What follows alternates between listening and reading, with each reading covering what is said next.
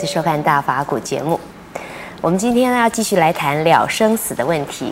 那在上集里呢，师父告诉我们说，大乘佛法了生死呢有两种方法，一个是难行法，一个是易行法。而易行法呢又叫顿悟法，也就是我们禅宗所说的顿悟。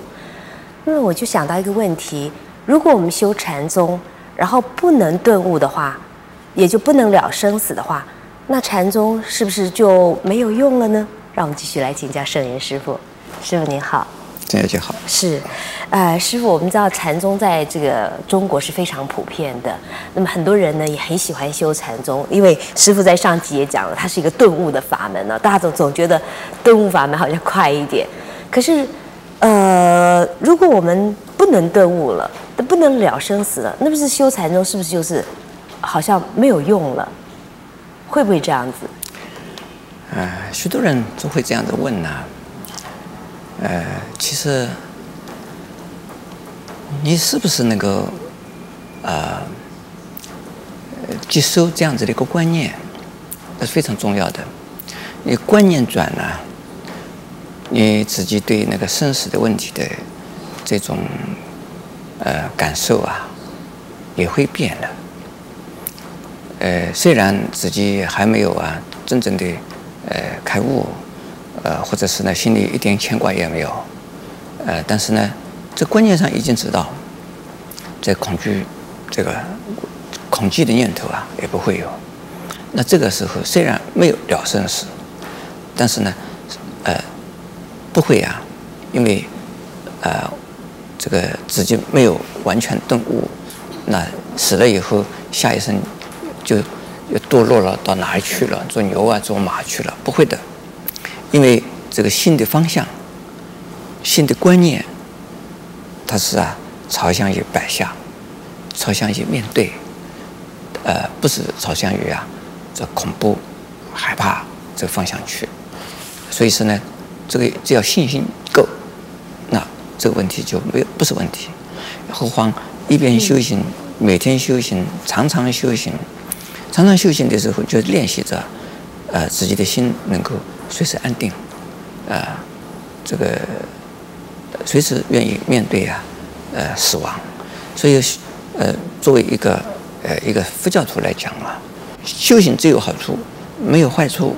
你就虽然没有解脱，也不必害怕，你这个啊未来要堕落啊什么的，这是一种。是。另外一种呢，就是啊，呃，也是一心道，那就是。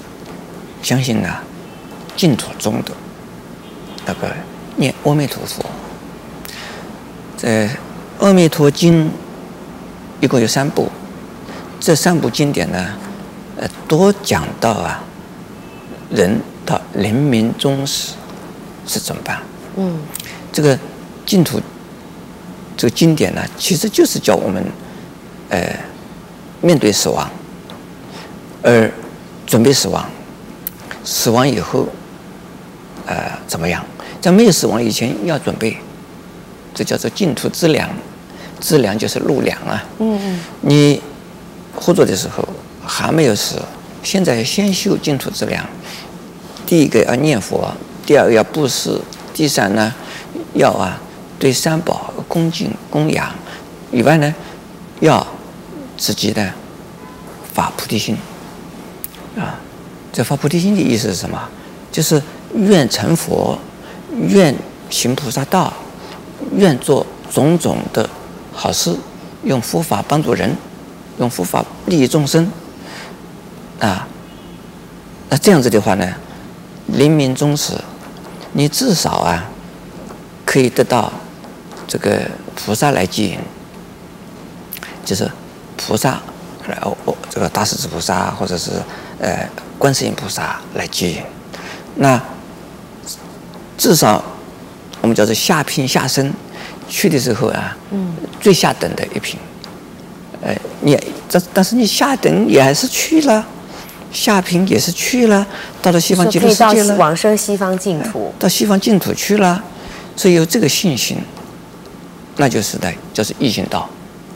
这个异性道的意思是什么呢？不需要经过三大涡生奇迹，就是直接到西方净土去的。那到了西方净土以后，是不是马上就是圣人啊？是不是？不是。到了西方净土以后，听闻佛法，改变自己，消自己的烦恼，然后也要发愿嘛，发发菩提心嘛，发愿，愿自己能够啊有把握，不被生死啊所困扰。到那个时候，再到这个人间来。再到我们这个生死里边来，来做什么？这就是道家慈航，度众生，慈航普度，度众生，一边度众生，一边自己修行，一边度之众生，一边自己行菩萨道。这个还是一样的，经过三大无生奇迹，虽然没有讲啊，这个这个净土宗的经典里头并没有讲要经过三大无生奇迹，但是呢，他讲不退转，不退转，也就是说。他不会因为度众生，结果自己再退转了退转或者是堕落或者做坏事去了，不会。那么像这样子的人，我们叫做菩萨再来。那这个啊，对于一般的人呐，这个普遍的救济啊，非常有用。